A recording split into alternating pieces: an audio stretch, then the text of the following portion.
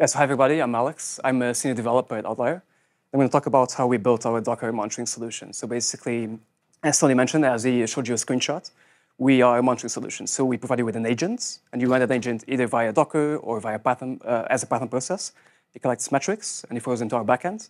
Then you can get dashboards and so on and alerts based on those metrics. Um, there's also a couple of us here, as Tony said, so there's like um, two of us there, um, and also me.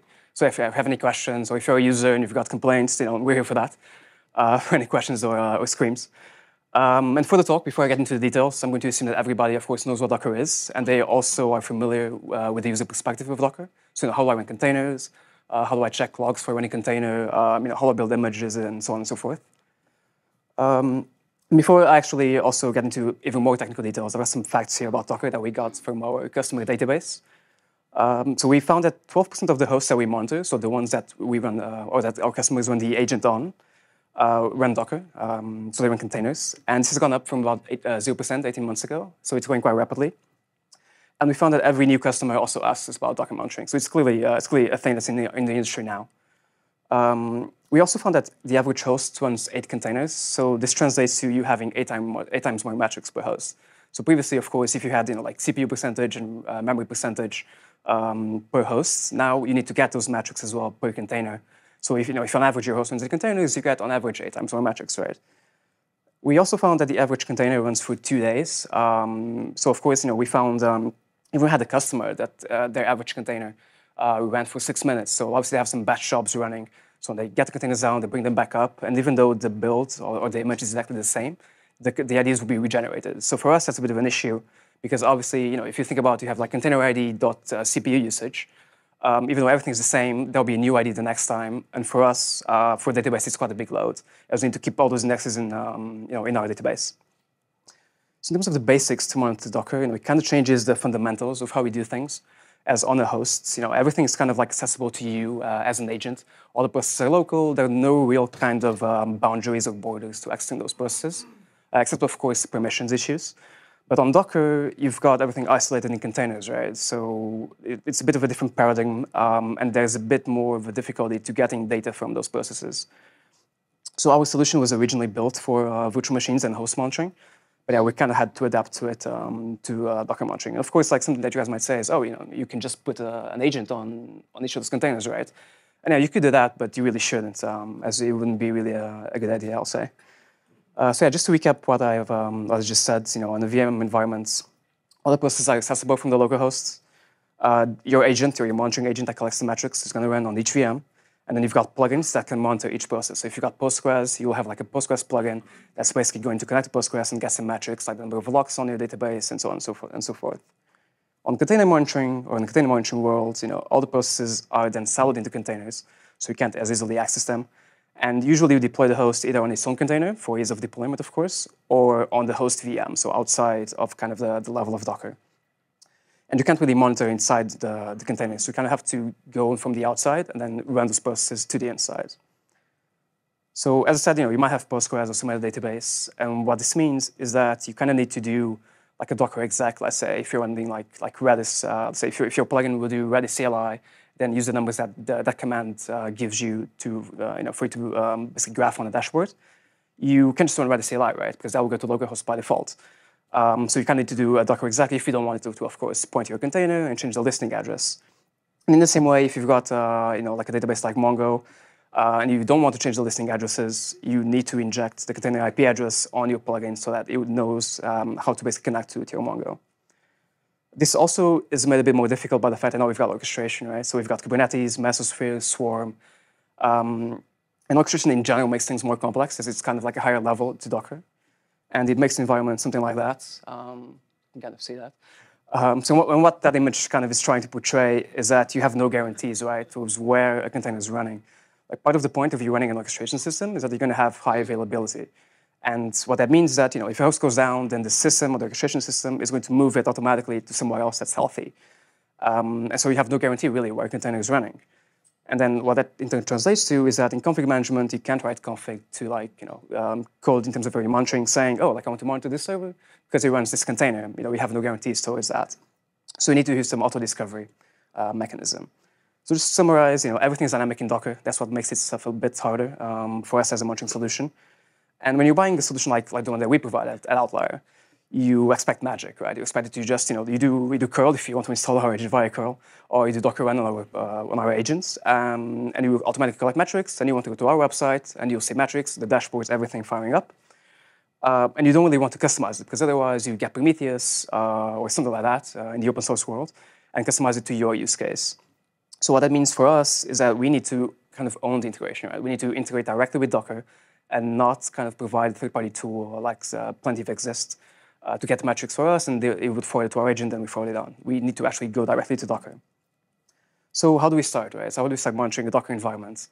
Um, or how do we start monitoring any environment, right? You, I would argue, uh, start by using off a tool like Top, let's say, you know, some, some UI or some tool that'll give you a high-level overview of how, um, of how, like, the general, general health of your system. Uh, but how, you know, top you can use top of course on your hosts, and but that will give you everything. So every container that's running on your host, you'll get all the processes and so on. So it doesn't really isolate um, from container to container.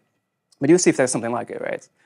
And you do have that as Docker stats. So if you type literally Docker stats in your command line, you get that on the slides, which is you know, it's pretty it's pretty cool. You know, it is a stream. It updates every second. Um, so it's kind of like top really, but but for Docker on the, on on any host but it doesn't really give you a lot of metrics, as you can see. It's got uh, you know, CPU usage, memory percentage, um, and so on and so forth. And so in my view, it's really useful for kind of like on-demand monitoring when you know that the container is misbehaving and you want to quickly go and check which one it is. But it doesn't really give you anything um, more detailed than that. And for details, we've got the Docker Remote API. So Docker's got an API, an HTTP API that listens either on the Docker Unix socket or on any kind of listen address that you uh, tell it to. And if you do like a GET request slash, slash container, slash container ID, and then stats, you get something like that, um, which is basically, that's a bit out of focus, sorry about that. Uh, it's basically you know, a lot of details in terms of stats, and it's in JSON output, so you can parse that very easily in your um, language of choice. And it also has a cool feature in which that um, if you run it more than once sequentially, it not only gives you the current data, but also the previous data. So it's basically useful for you know, if you want to rate even like you know, CPU percentage or um, you know, like kilobytes per second on my network interfaces. That's basically what you would use to get those uh, to get that data, to get those metrics.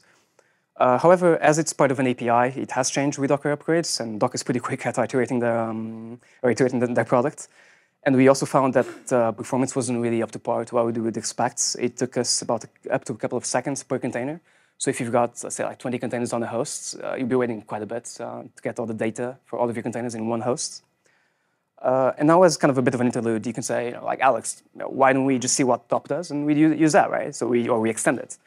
And top, basically what it does is it checks proc, right? And proc, if you guys don't know, it's a virtual subsystem, or virtual file system, sorry, in Linux. And it contains pseudo files, so not actually files. And unfortunately, the reason it doesn't really work well is because those files are not really containerized, except for some namespaces like the PID namespace, so basically per process statistics, or the NAT namespace, so network statistics. Uh, stuff isn't really containerized, which means that they will always display host data. And as an example, so, for, so that it's clear, so you asking what I'm talking about, um, I'm basically here, here on my first command, checking the load average on my hosts. Then on the second command, I'm basically doing, doing the same thing, but on a Docker container. And you guys can see that the load is the same, right? Like there's, number, there's like 19 tasks running. The load is 18 uh, on average for the last minute. Then if I do a PS, a UX, you can see that there's in fact, you know, excluding the PS command, there's only two running processes. So you know, it really it doesn't work, right? So we can't really rely on proc. So what we can do is we can use in terms what Docker does for resource control, which is cgroups, right? And cgroups is basically a Linux kernel feature that predates top, and I guess that's the reason why top doesn't really work um, very well in terms of, uh, of this use case. And what it's responsible for as a Linux kernel feature is to work on groups of processes and limit resource usage and check as well and account for that resource usage. And it's used by you know, like Docker, CoreOS, LXC, and Systemd, and a bunch of other software. So the way that you can use it, or the way that it, it works, is that you've got hierarchies. And hierarchies are groups of processes. And in turn, those groups of processes or hierarchies are connected to subsystems. And the subsystem is basically a group of metrics or, uh, you know, like, or anything that you might want to get. So you've got block IO, you've got CPU, CPU account, and memory, and a bunch of others, but these are the main ones that, we, that we're interested in. So how, how, how do we go actually about using cgroups, right? So you can actually cat proc mounts and see kind of like where your subsystems are, where they're mounted uh, in your hierarchies. You can also check like proc and then container PID. So each container in Docker has a PID, and you can see that if you do Docker inspect. And then if you do proc, container PID, and then cgroup, you pretty much get the same thing. And then if we go inside one of those directories, and if we take CPU as an example, Uh, you can see here that I've got some files and some folders as well. And you know, if you see like this file here called CPU um, account usage, it, it, actually gives me a number. It gives me a metric, right? And if we go into inside one of those hierarchies, let's say like the Docker one, we said it contains the same kind of files, right? So you can see the kind of like how it's structured and then the hierarchy. And those ideas that uh, you can see there on the slides as well are actually container IDs that I had on my system, uh, had on my on my um, laptop running. So again, if you go inside, then we'll see the, the same files again. And you can get metrics basically from reading those files. So, you know, to recap, you can get CPU, memory, and disk from cgroups. And you can get network, of course, as I said, uh, via proc and net, uh, because net is uh, containerized. But we're still missing one, right? We're missing load average. So what can we do about load average? So that's where Netlink comes into play. So Netlink is basically a library, or actually, uh, should we phrase that? It's a socket family like the Unix domain sockets, but you, instead of doing you know, AF Unix, they do AF Netlink. And it allows you to get a socket to the kernel and not only perform requests to the kernel, so you basically say, get me this info, and the kernel will reply back to you, but also you can subscribe to events. And that's because it's basically designed for network info. So the protocols that it has is stuff like route, firewall, ARPD, and that's kind of where you see like the paradigms and what it was designed for if you go and check the code in the Linux kernel. Uh, so as I said, it's duplex, so you can subscribe to events, and the kernel will send you messages and also initiate the message sending. And it's extensible, so you can build your own protocol um, based on what's already existing and based on some macros. So in terms of protocols, one that we have existing and available to us is task stats, right?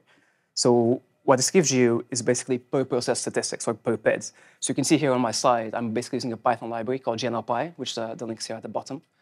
And I'm just getting stats for PIDs. Um, and you can see I've got you know, the number of, syscalls that the, the PID um, performed, uh, the, the, voluntary and involuntary context switches, and some other uh, more data that you might find useful. And then we've got another one, which is called cgroup stats, which uh, seems to be built as an extension to task stats. Like if you go to the code, you're going to see like the structs that the kernel uses, and it builds on top of task stats. And it gives you stats about the number of processes that are running under a given C, uh, cgroup hierarchy.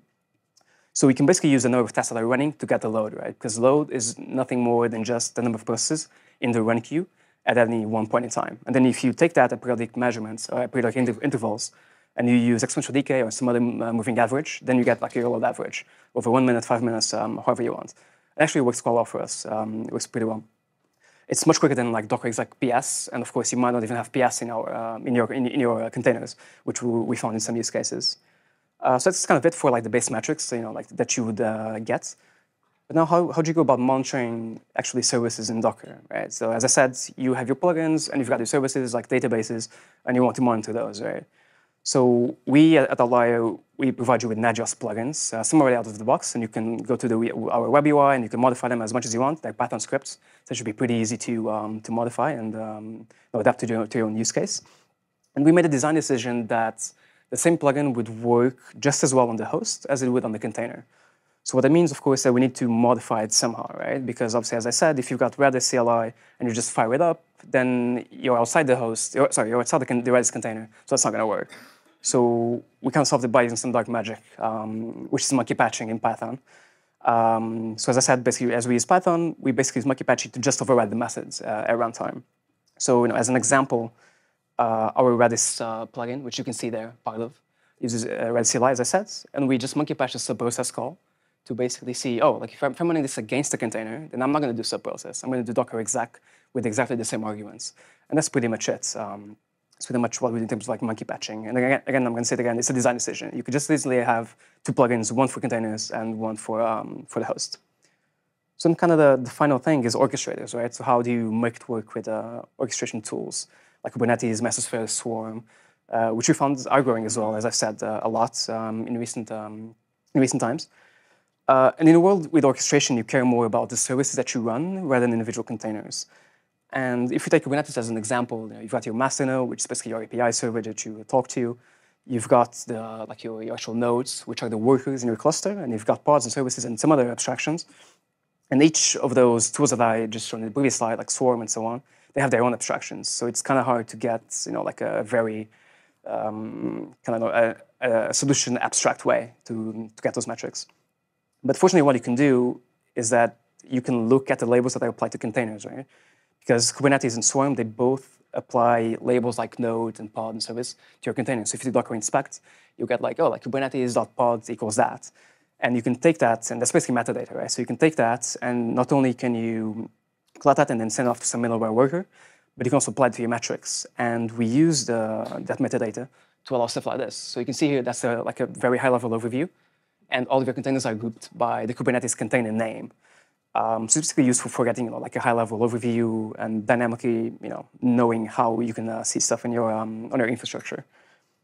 And that's, uh, that's, that's kind of it um, in terms of what, what, how you monitor a solution, how you build a monitoring solution.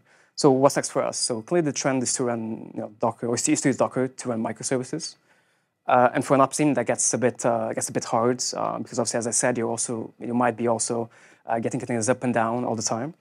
And you, you want something like the host that I, uh, like the view, sorry, the host view I just showed you, uh, which gives a consistent overview of everything. So what we're going to do next is improve the orchestration tool supports, which of course, you know, as Kubernetes is still in development all the time. Swarm, for instance, just added NetHost. I think it was four days ago. The PR got merged. So we're going to uh, keep improving on that, on our support, and we're going to build tracing, uh, which is a bit of a different approach and something that you, you might need as well uh, for debugging. So I know I didn't go into that much detail as well in the in the talk, um, but me and Thibault, who's over there, are going to write a couple blog posts in the in the near future. So keep an eye out for that on our blog. Yeah, thank you very much. That's it.